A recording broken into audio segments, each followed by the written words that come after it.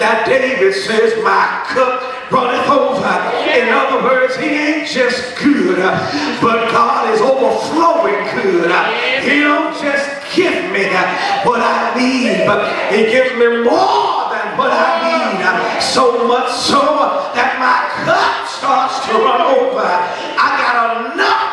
Saucer that I can just sip from the saucer because my cup continues to run over. What David is showing us here is what Malachi said a long time ago.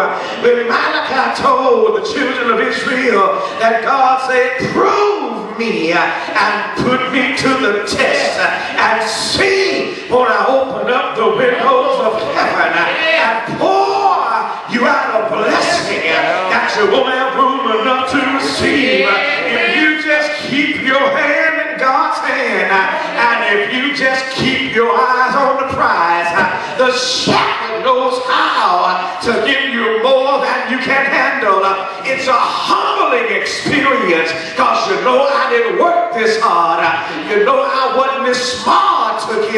But it's because the shepherd has filled my cup to overflowing status.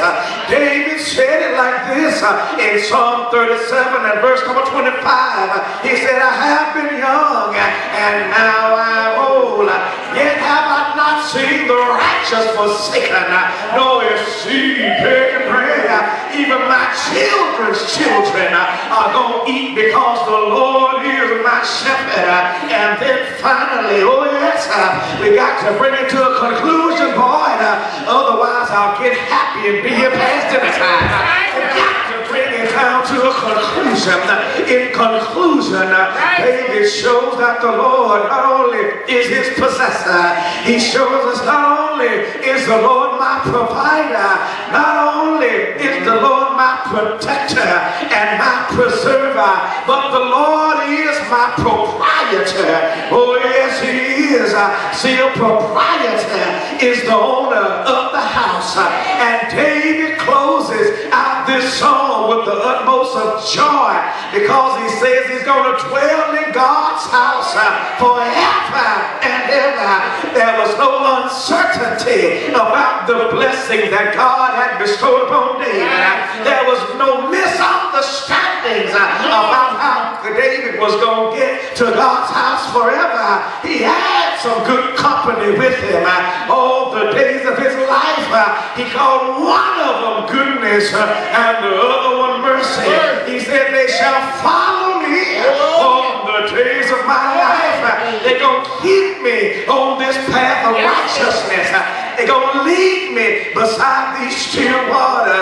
They're going to help me keep my soul restored. They're going to continue to fill my cup when it starts to get lower. Surely goodness and mercy shall follow me. I can go on and walk where I need to walk. I can go on and do what needs to be done.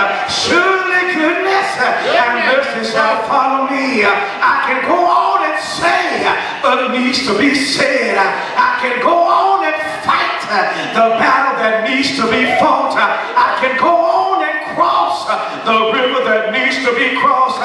Surely goodness and mercy shall follow me all the days of my life. I can go on and look over the hilltop. I can go on and run this old Christian race. I can go on and sing hallelujah. Anyhow,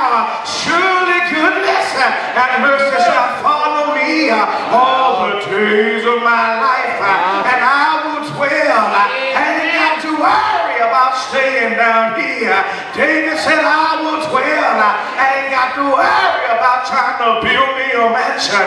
David said, I will dwell in the house of the Lord forever. I know something about that house.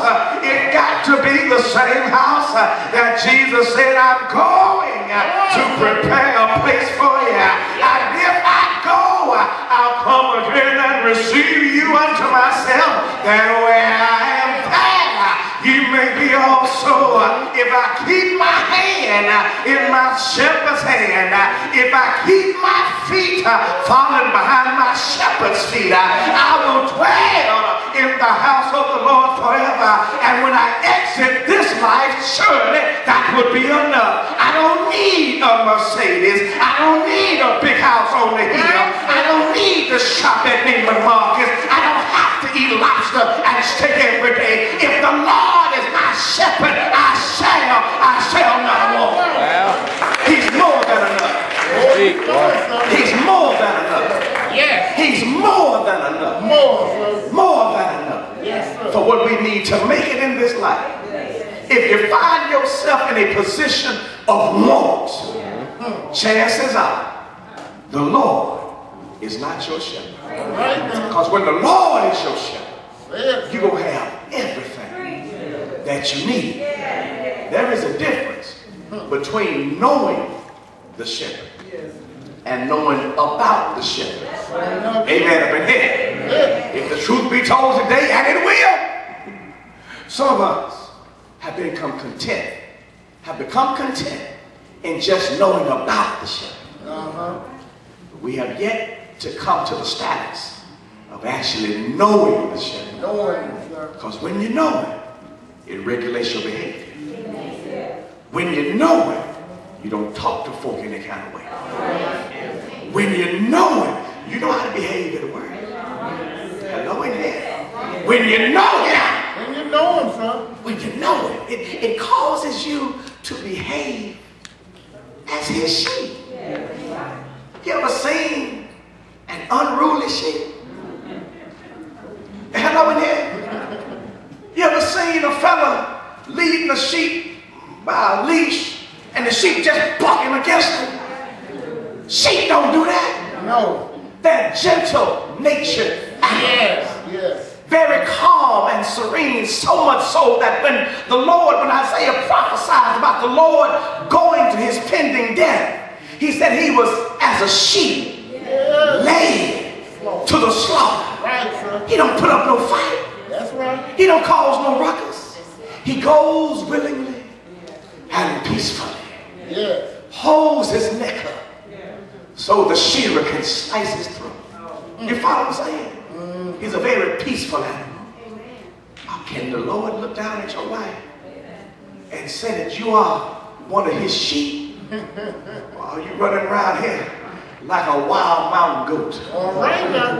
Amen. Up in here. Yes. Goats have a significant different behavior from the sheep. A goat will run up and bump you on your backside for no apparent reason whatsoever.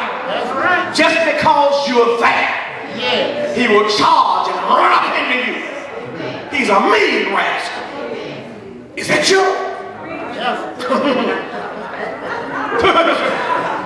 Yes. Sheeps, even in their calmness, have such a sweet sound.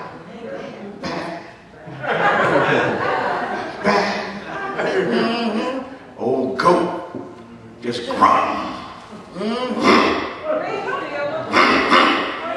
Hello in here. Tomorrow morning, you're gonna be a sheep, You're gonna be a goat. Right. Gonna go up into work grunting, Oh, man. you're gonna go in there bad. Good morning. Yeah.